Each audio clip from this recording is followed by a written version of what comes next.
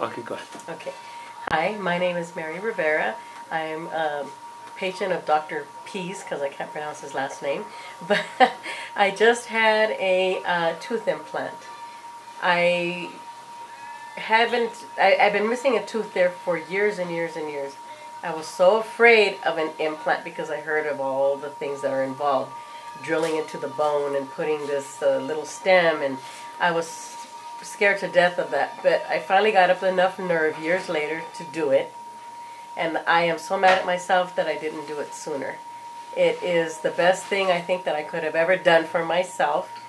The surgery was nothing really. Just a few minutes, I had it done. I went home, they gave me pain pills, and I never had to take a pain pill at all. And it was like nothing. A little discomfort, you know, for a few days, but I mean, there was nothing I could not handle. And uh, now it's completely healed. The whole process is completely done. I can eat on that side. I can't believe I suffered so long chewing on one side of my mouth only.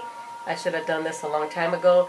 The doctor's very good. He explains every little thing that's going to happen, why it has to happen. Um, and it's just like the best experience here. His staff is very friendly, very courteous.